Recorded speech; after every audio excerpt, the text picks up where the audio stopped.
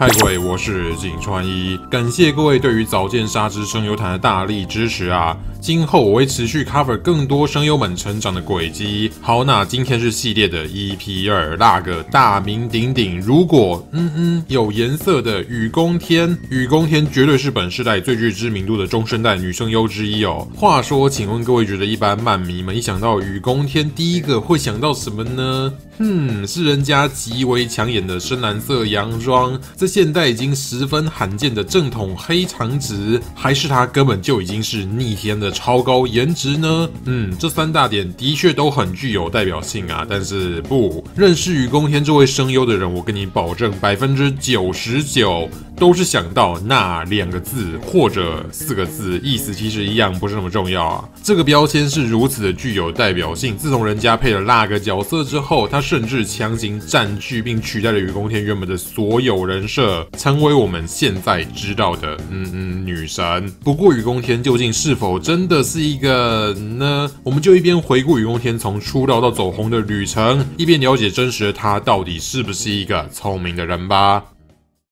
小时候的雨宫天是一个非常有自信的小孩，在他还是小学生的时候，就有一股不知道从哪来的自信，认为自己比电视上那些女明星都还要可爱。才艺表演的时候还自告奋勇担任主演。嗯，你们看他的脸，应该是不会不知道他的自信是哪来的啦。而最终表现也的确都很好，因此雨宫天这个时候就开始产生了一种想法，以后想要做可以站在人前出风头的工作。只不过升上国中之后，雨宫天这样的性格却。渐渐开始引起其他同学的反感呐，使得人家国中到高中这段期间个性变得较为低调内向，午休时间吃饭大多都是一个人吃的。但是升上高中后，于宫天认为自己必须要改变，虽然心里有千百个不愿意，但他还是主动报名学校的轻音部，志愿当主唱。然后同样是在高中的时候，于宫天有一次无意间看到一部声优出演角色同整的影片，当时他被那位女生又可以一个人饰演这么多种不一样的角。色给大为震折，因而决心要成为一位专职声优。话说，你们一定很好奇他看到的到底是谁的影片哈？答案就是没错，泽城美雪。嗯，某些声优厨应该可以从前面几张图片中看出来。那个时候，愚公田连那些角色是谁都还不知道，就把这部影片转成 MP3 档，然后每天上学路上一直听，一直听。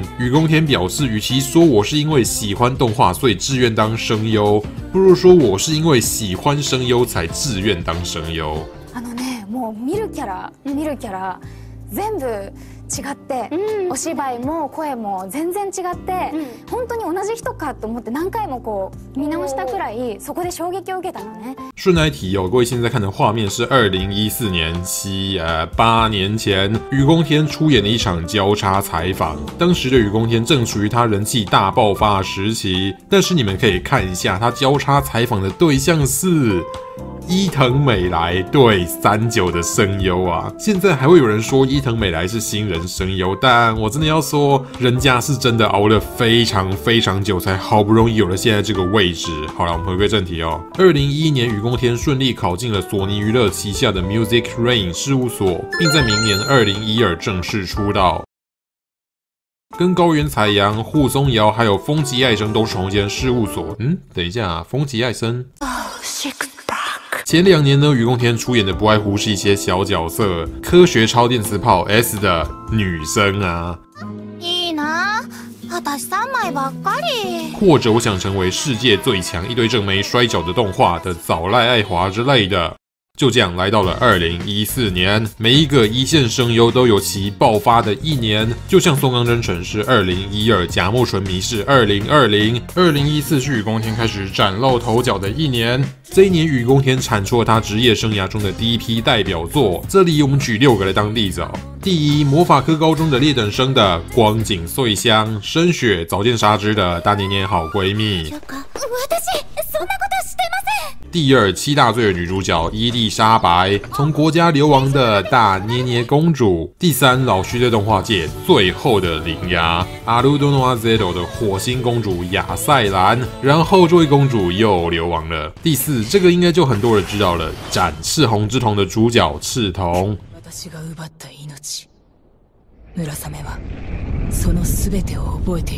至于第五、第六个是我觉得最重要的，首先是雨宫天生涯的第一个主义角色，一周的朋友藤宫香知。井川一我自己就是从这部作品才第一次认识到雨宫天的。一周的朋友剧情大体上在讲主角某一天在班上认识了一位神秘的女同学藤宫香织，并发现她有一个心理疾病，会让她以一周为周期自动 reset 那一些有关人际关系的记忆。所以整出下来，我们就是看主角一次又一次向女主示好，跟她交朋友这样的小清新恋爱喜剧。其中雨宫天饰演的藤宫香织呢，个性表面上显得比较冷漠一点，但其实是一个非常友善端庄的。的文学系正美。然而，令人比较意外的是，第六个我要介绍的愚公天在二零一四年的另一大代表作，会是一个反差如此剧烈的尝试。没错，东京参种的女主角误导董香。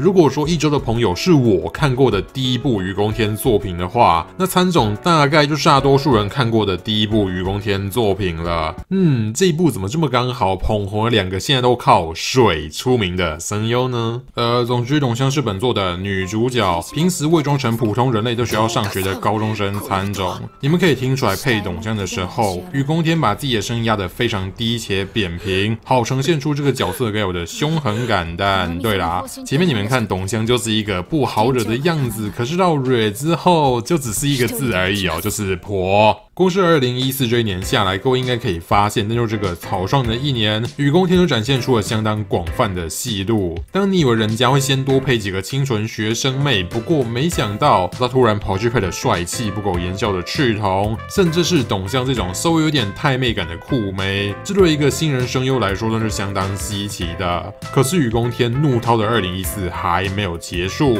因为还有另一大项雨宫天也正积极发展的项目还没有讲到，也就是歌唱事。业声优偶像化这个现象，大家现在应该不会觉得有多稀奇。顾名思义，就是把幕后的声优更多的推到幕前，做传统偶像的唱跳啊、拍写真啊、上节目啊之类的多媒体活动，谋求更多元的发展以及更多的钱钱。二零一四年，于光天推出了他的第一部歌唱作品《奏》，翻唱自乐团无限开关的同名曲子。这首歌被用在了一周的朋友的动画里面，当做片尾曲。说实话，我觉得知道这一首歌的。应该比知道动画的还要多。而到了八月，雨宫天自己的第一张原创单曲《Sky Reach》发售，这首歌被用作《展翅红之红》的片尾曲。再来再来，对，还没有完。这一年呢，雨宫天还与另外两位一起考进 Music Rain 的同期麻仓桃以及下川追菜三个人组成偶像团体 Try Cell，正式展开偶像活动。这个团名就是雨宫天取的。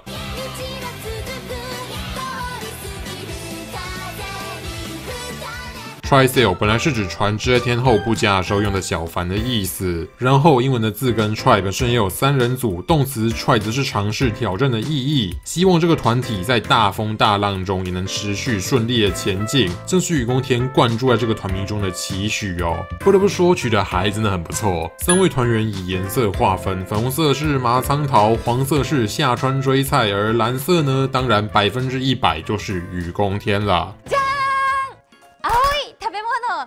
了。愚公天对于蓝色有着非常强烈的爱这件事，我想各位看影片这样看下来，应该是不会感受不到，因为他有将近八十趴的场合都是穿着这一类深蓝色的服装，是因为吗？不是，雨宫表示，打从小学开始，自己就很喜欢这类水蓝色系的颜色，但越长大的开始偏好这种更深更浓的皇家蓝、宝石蓝之类的色系，到最后就变成现在这个样子了。对他来说，这个世界上的颜色就只有两种，蓝色跟不是蓝色。如果得用一个汉字来表达自己的话，雨宫天也会选择青，也就是日文里面的蓝色。他表示他十分憧憬蓝色使人感受到的。这的智慧啊，呃，高贵啊，啊，还有坚强的、坚强的意志、坚强的意志之类的氛围。哎，不是，你们在笑什么？人家可是很认真的阐述他对蓝色喜爱，好不好？是有什么好笑的啊？好，我我们继续。二零一五年，于公天出演的知名角色有大限将至的 AI 机器人可塑性记忆的艾拉，早办爱一年呐，成为了人工智障的先驱。魔娘同居日常的米娅是一个很想成为主角的正宫，可却全程惨遭一个又一个的魔娘情敌搅局的半蛇族少女。我还记得当年的漫展，有人制作了米娅的等身大抱枕，全长七公尺，缔造了史上最长动漫抱枕套的传奇。接着我迎接二零一六年那个让雨宫天成为雨宫天的人物，为这个美好的世界献上祝福的女主角之一，女神阿克雅。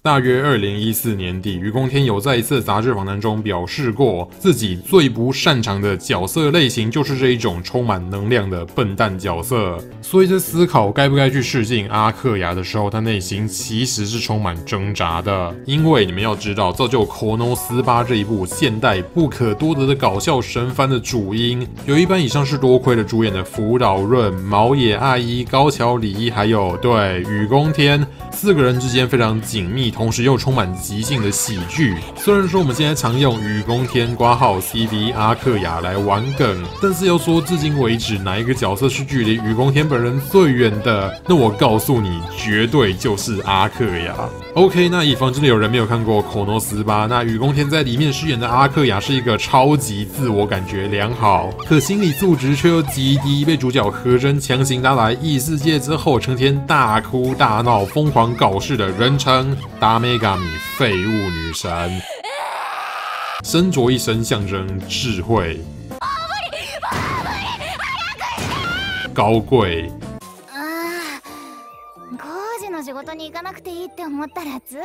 坚定意志的蓝色洋装，顶着一颗感觉射过去就可以得分的圈圈盘法。还有，不管从任何角度看过去，都绝对不会走光的钢铁全摆，能力值全项目都非常的高，但偏偏智力跟幸运太低，结果硬生生的把前面的高规格全部抵消掉，到最后除了回血复活，或者把它跟泡茶包一样丢进池子里净化水源之外，基本没啥作用。雨宫天赋予阿克雅的无耻赖皮灵魂哭好，看来是让观众产生了很大共鸣啊，使得智障女神四个字被动的跟到了雨宫天的屁股上，强行涂改人家们还有点高冷正统派美女的印象。现在大家看到她就是茶包女神、智障女神这样叫。不过各位还记得我开头问了什么吗？对，雨宫田到底是不是一个人如其角的智障呢？这边我们就来看几个雨宫田从小到大曾经做过的一些奇葩行径，让正在观赏这部影片的你们来判断他究竟是一个智障，还其实是一个隐性的天才吧。事件一：日本有一种商品叫做袜头胶，是可以涂在你袜子的边边，让它不会一直滑下来的东西。有一天，雨宫天发现他的袜头胶竟然没了，所以他就拿了真的胶水来代替。事件二：某一天，雨宫天去洗澡的时候，发现洗发精没了。不过因为实在懒得去换，所以就改用沐浴乳洗头，洗了好一段时间。事件三：有一次，雨宫天在跟店员讲话的时候，他突然觉得嘴唇好干呐，就从包里摸出了自己的护唇膏涂，可是涂一半发现，等一下，这个不是唇膏，而是牙膏啊！然后他就偷偷把嘴唇上面的牙膏舔掉。事件四：雨宫天的房间乱到连书架都歪掉了，还是可以保。持平衡。某一天，他觉得房间传出一股怪味，用力翻了一下之后，找到了一颗已经腐烂的梨子。事件五：愚公天结束了一天的工作，准备骑车回家的时候，发现踏板上出现了一只蜘蛛。哦，对，以防有人不知道，愚公天他是出了名的胆小，而且最怕的东西就是虫子。上个月，他跟本杜峰在跑宣传阴阳眼剑子的行程的时候，录影现场突然有一只虫子跳到他的稿子上，吓得愚公天直接往后一跳。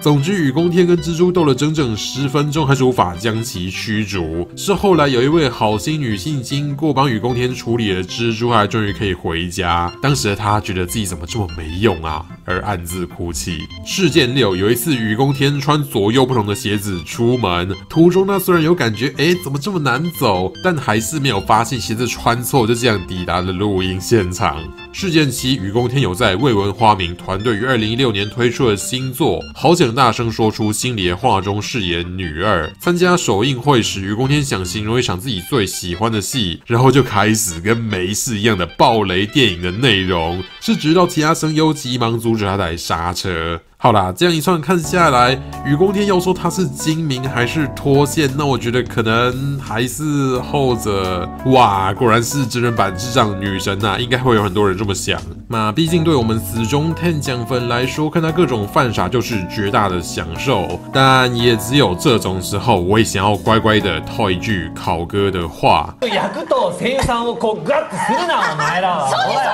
对，不能太把声优跟角色联想在一起，撇开各种奇葩行径，单纯以一个完全客观的眼光来看雨宫天这位声优，他究竟是一个怎么样的人？事实上，在一部 Q&A 影片中，我觉得雨宫天已经给出了一个对自己再中肯不过的评价了。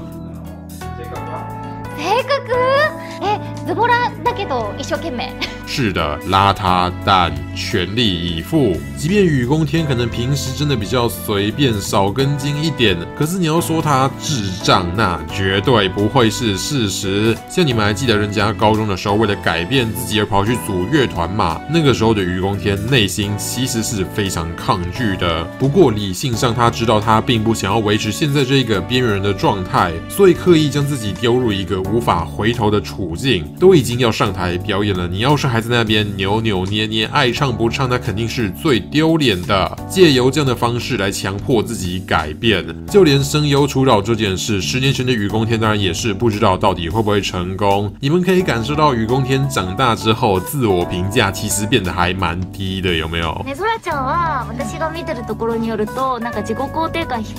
因此，不管是面对试镜啊、配音啊，还是演唱会啊，没有一次他是以。一个脑袋螺丝没锁紧的状态上阵，相反的，他皮绷得比任何人都还要紧。雨宫天心中有三大面对舞台的信条，这是他从工作人员那边听过来的。不吐不倒不回头，这三句是愚公天心中奉为圭臬的金句。我们现在看得津津有味的口诺斯吧，当然这一部绝对是主演们全部放飞自我才能创造出来的经典。只不过大家也许没有注意到的是，要真正达到所谓的放飞自我，要把这一个全程都在鬼吼鬼叫、大哭大闹作品演好，声优们需要灌注多少能量在上面？好，那愚公天近年来肯定是不会缺少经典的作品。例如，二零一九年曾经在宅圈中掀起一阵健身热潮的《Onegai Muscle》健身少女，里面雨宫天饰演的是热爱肌肉与健身的大家闺秀，将端庄与沙雕这两个面相成功结合起来的一个角色。公主连接爱吃布丁的小幽灵公子。话说本作监督跟口诺斯巴是同一个人，所以动画里面有非常非常多从口诺斯巴跑过去串场的声优哦，其中像雨宫天还有福岛润就是比较明显的例子。再来游戏 P 五 R 的方泽霞皇家版的新老婆。以新体操的体育特招生这个身份成为主角的学妹，外表可爱端庄，但不管新体操再怎么骚吧，再怎么优雅，都还是专业运动员，因此个性其实有点偏热血，而且还有大石怪属性。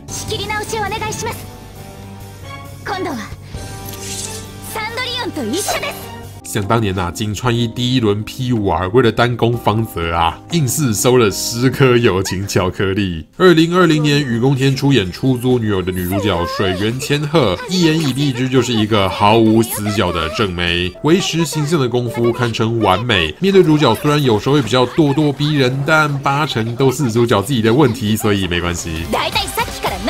最后，二零二一年阴阳眼剑子的剑子雨宫天于这一部展现了他在下破染 还有装没事之间默默拉扯的精湛演技。好吧，由于到今年为止雨宫天出演的作品有一半都是续作，因此能讲角色越来越少。不过雨宫天还有一些周边的活动，我也想特别提一下。首先是人家的 YouTube 频道，在一年前雨宫天创立了官方的音乐频道，还有一些拍料理、游戏企划的影片频道。频道的主视觉呢，不用说。全部都是蓝色，封面是蓝的，杯子是蓝的，帽 T 是蓝的，上衣也是蓝的。你们如果仔细看的话，他煮饭的时候是有穿围裙的，只是对颜色跟上衣完全融在一起罢了。能找到颜色这么一致的围裙，工作人员真的也是不简单哈。哦，对，现在各位看到的影片是愚公天的料理企划，名字叫屈服料理，整体内容大致上就是看愚公天一边碎碎念，一边很随性的煮东西，这样切菜啊，加调味料啊，基本所有的流程都是大概就好，非常自由的一档节目哦。时不时 Ten 讲还会日常出彩一下。私さっきめんつゆ入れた醤油じゃなくて总之就是指啊，不是邋遢但全力以赴的女神的日常发挥啊。 打从二零一二年出道至今，雨宫天现在无疑是已经确立了自己身为一线知名声优的地位。这时，我们再回到二零一五，雨宫天还没被选为阿克雅声优的那个时候，当时雨宫天对于自己还没抓到角色的感觉这件事感到十分的不甘心。可是又有点奇妙的是，他听到很多粉丝认为阿克雅很白痴，所以很棒。但其实啊，当雨宫天在想象所谓的白痴角色时，他脑海里是没有浮现出阿克雅的形象的。他表示，虽然依结果来看的话，阿克雅可能真的有点蠢，不过在诠释这个人物的时候，他并没有将所谓的白痴感作为饰演阿克雅的第一要点。阿克雅的感情表现很丰富，每一句话的意思也都很明确，语速还很快，重点是口齿也很清晰，这些都不是一个傻瓜会有的特质。雨宫天很惊讶，自己与他人的观点可以有如此巨大的差别。他没有特别想要争一个谁对谁错，可是最起码我们知道，在饰演阿克雅的时候。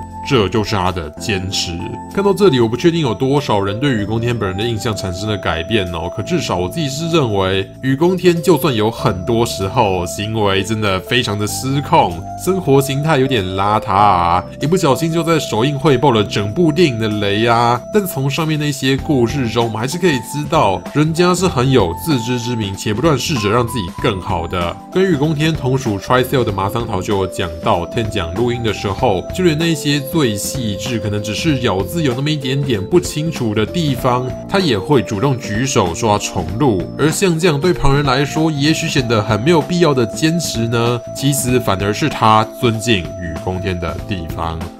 OK，井川一声优谈 EP 二雨宫天就到这边结束。希望这一之后大家可以更认识，也更加喜爱上雨宫天这位声优。下一集我现在是毛野阿姨或者松冈两边再选，各位比较想看的，也可以留言告诉我。我是井川一，我们下部影片见。